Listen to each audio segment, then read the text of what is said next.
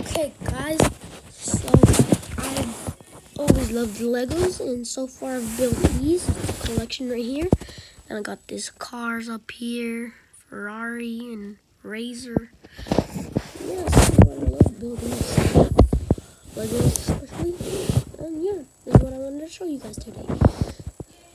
I'll be posting more because basketball season is almost over, so yeah. And these are my Legos, so